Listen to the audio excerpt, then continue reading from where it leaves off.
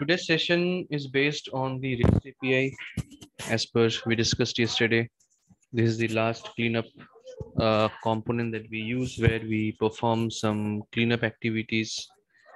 And also like in case of you testing also, that time also we use the REST API. Okay. Now, REST API URL, I believe I shared it yesterday itself. Uh, like how do we create a URL for REST API? Because uh, once you install the IBM BPM, if you see here, I'll just show you one thing. So this is how I start the server every day. Okay, so this is called the process manager quick start. And you see here, it says stop the process center deployment environment. Initially, whenever I start the server every day in the morning, it says start the process center deployment environment. And whenever I click on it, and whenever the server starts after starting everything, then all these links, all these URLs you see, WAS admin console, process admin console, business performance admin console, process center, process portal, all these URLs, uh, they get enabled. But your REST API will never appear here. Okay. So it's a testing tool. So you need to remember the URL and you can use it whenever it is necessary. Okay. So uh, right now I'm inside the REST API, REST API tester. And if you see on the left hand side, there is something called select API call. And in the select API call, there are so many options, but we need to use only one over here. Okay. Other than this, I mean, there are a lot of things over here which are also related to IID, integration designer. Okay. So we don't have to use that. We will use only BPM APIs in case if I need to test anything from here. And you see the first one, the first one says business process manager REST APIs. Uh, and if you're using BAW, now this is 8.6. If you're using BAW, this will, the, the name is different. The name says IBM business process manager REST APIs. So just the matter of one word. Otherwise, if you expand this, everything is the same. So, so many APIs are there. I just expanded this. There are process APIs, service APIs, task API. Like this, you have so many APIs. All these APIs are not required. We need only few among this. So we are going to use some of them from the process API, few from the service API, few from the task API. Okay. So we'll see one by one. We'll start with the process API one of the most important things is process API, even for your cleanup. Say, for example, yesterday I was giving an example where an instance failed and we fixed the issue and we retried the instance from the process inspector. Right now, there are cases, there are scenarios where you will see that even if you have fixed the issue and you have deployed it to say some environment, even if you're trying to retry it from the inspector, the instance will never be active although the issue has been fixed. So in those kind of scenarios, we use process API. So there are few of the APIs which are there in the process API. We use them to retry the instance. Okay, so we'll see one by one. So let me expand this process API. Here, again, you will see a lot of APIs are there. Again, not everything is required. So we'll see only those which are required for our debugging and cleanup thing for the production. One of the most important here is current state. Okay. Current state means say I have triggered one process, say leave application process, and say right now uh, the token is active on top of the manager activity. So by this, what we mean, we mean the employee activity is already completed and the manager active manager activities right now triggered right now generally we are doing everything whatever sessions we have done till now we have done everything from the development environment and whenever i was triggering the process you guys were able to see where the token is right? Because the diagram was also visible on the left hand side. So if i go back to my designer you see i triggered one instance over here. And you guys can see this diagram and you guys can understand, okay, so which means that employee task is active right now because this token is on top of it. But in case of an environment like a testing environment, like QA or UAT, or even for the production environment, you will never see this diagram, right? I will not be able to understand where the token is, what is the token number. You see the token number is six over here, right? And it is right now sitting on the employee tasks. So this diagram will never be visible to you for the other environments. So we have an API called current state API. Yes, it will not show me the diagram, but it will show me like which task is active right now, where the token is sitting right now on which activity, what is the token number, everything will be visible to me with the help if I use this current state API.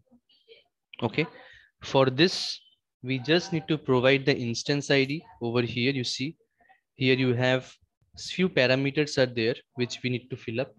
The first parameter says process instance ID. So here if I put the instance ID and if I click on execute, you see there is a button right below, which is disabled at the moment.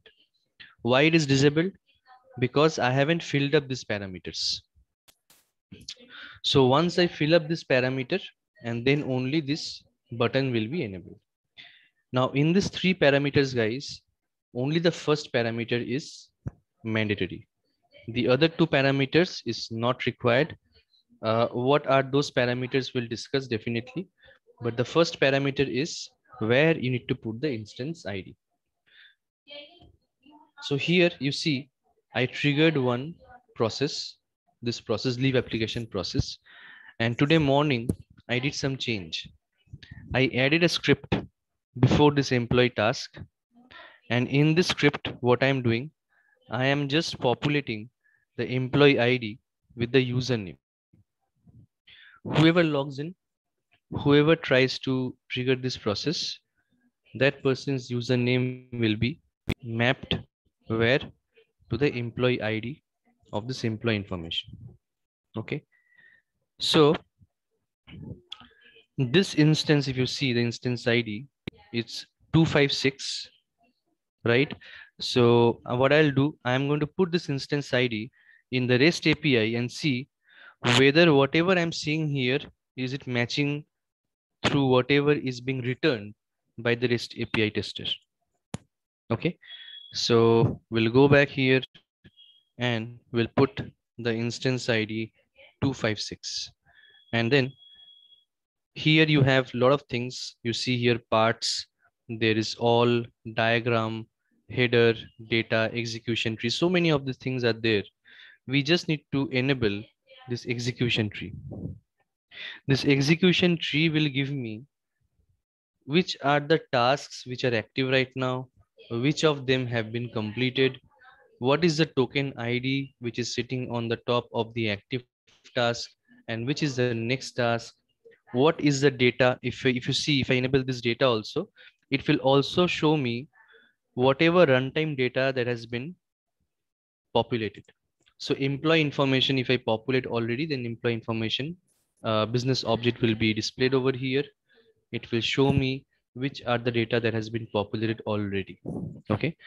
So I click on execute call and I can see some information came on the right hand side. Before we go and see what information came, let us go to the top. And if you see here, there is something called status 200. Okay whenever you are executing any REST call, any REST API call, be it this current state, and again, we are going to go through some other APIs also. Whenever you are triggering an API, if you get a response with 200 OK, which means that the call is successful. Okay. If you don't get 200 OK, if you're getting 404 or 400, then which means there is some issue with the call. Okay. So whenever you get 200 OK uh, in response to any REST API calls, which means your call is successful. Okay. Now, if I scroll down, then I'm going to see a lot of information. I can see the data. You guys can see here data. and I see here employee information. In this employee information, I see employee ID has been populated over here with Rahul, right? Apart from that, I don't see anything. Why I don't see anything? Because employee task has just been triggered. I haven't yet uh, claimed the employee task. I have not filled up in details over there. Okay. That's the reason employee information is right now only has employee ID data. Apart from this, everything is none. If I scroll down, here you see in a diagrammatic format of the employee information where you see only employee ID is there. If I scroll down more, I have seen, I can see the execution tree. In this execution tree, what I can see is the name of the process, right? And what else I can see? Again, I can see employee information. What else I can see? Now I can see which task is active right now. Employee task is active. What is the important thing over here? Token ID. I can see the token ID is also there. Whenever you guys, whenever you are running this current state, wherever you see token ID is being displayed, which means that task has been triggered. Say here is displaced manager task. Say your manager task is already completed. Or say this is employee task. Say employee task is already completed. You will not see the token ID with the employee task. You will see it with the manager task because right now the manager task is active and not the employee task. For this scenario again, for those who are having doubts with token ID, it is showing here token ID for employee task because right now the employee task has been triggered and the token ID 6 is waiting on top of it. Then you see created task IDs. So this is the task ID of the employee task that is also being displayed. Okay. So like this, you can see your execution tree.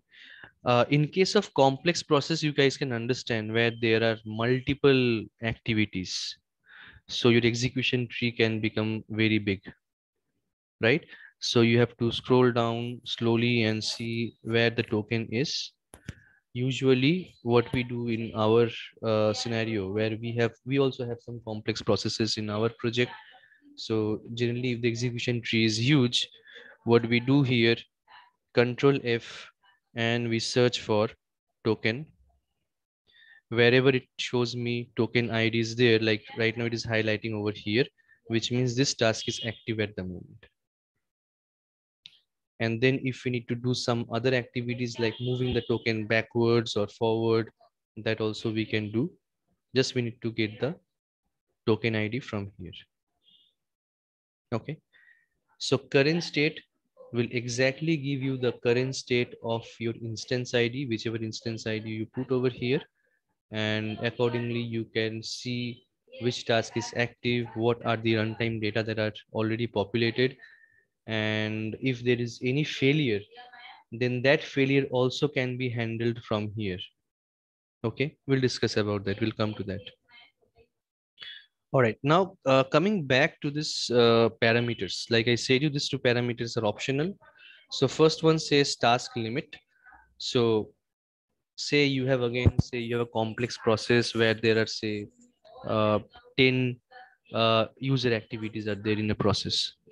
So if you want to see the execution tree, and if you want to see say only the first five tasks, what is the execution state of the first five tasks? So in that case, I can put here five. It will not show me all the 10. It will show me only the five user activities, the state of the five user activities over here. Okay. Task offset. What it says in specifies the index of the first task instance to be returned from the result set. So here, if I put here one, it will show me the result set only from the first task. Okay? Say i have employee task i have manager task and I have senior manager task and all these things are there. If i put here one it will show me only the details of the first task. That's the reason we don't put anything over here because generally for a developer we want to see everything, the entire execution tree. So we put only the instance ID over here and coming to the parts, we only enable the execution tree. If you want to see the data, you can enable it. If you want to see everything, then you can enable all. It will show you everything over here, whatever is there. Okay. So this is about my, about the current state of an instance.